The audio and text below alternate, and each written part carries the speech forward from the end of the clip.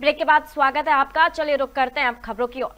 चैत्र नवरात्रि की शुरुआत 9 अप्रैल यानी आज से शुरू हो चुकी है। ऐसे में देवभूमि उत्तराखंड में नवरात्रि को लेकर श्रद्धालुओं में खास उत्साह देखने को मिल रहा है।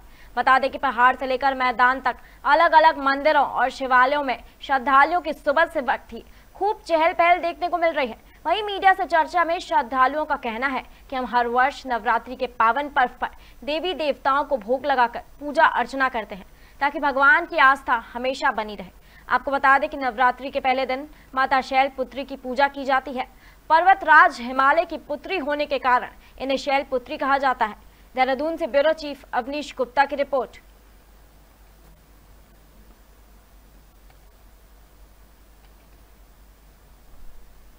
ये चैत्र मास की वसंत ऋतु की नवरात्रि है। आज से हिंदुओं का नववर्ष प्रारंभ होता है, नव संवत्सर प्रारंभ होता है और बड़े खुशी और हर्षोल्लास के साथ जो है हम सभी लोग इस पर्व को मनाते हैं नव दुर्गा का पाठ करते हैं नव दुर्गा की पूजा अर्चना करते हैं। नव दुर्गा माँ के नौ स्वरूप हैं, उन नौ स्वरूपों की पूजा करते आज जो है, प्रथम शैलपुत्री का पूजन है, हो रहा है, और बड़े विधान से, बड़े हर्षोल्लास से जो है, इस त्यौहार को हम लोग माँ दुर्गा का मनाते हैं, और माँ से याचना करते हैं माँ, देश में सुख समृद्धि, सुख शांति, और सभी देशवासियों को मैं नव वर्ष, नूतन वर्ष की और नव संवत्सर की हार्दिक शुभकामनाएँ।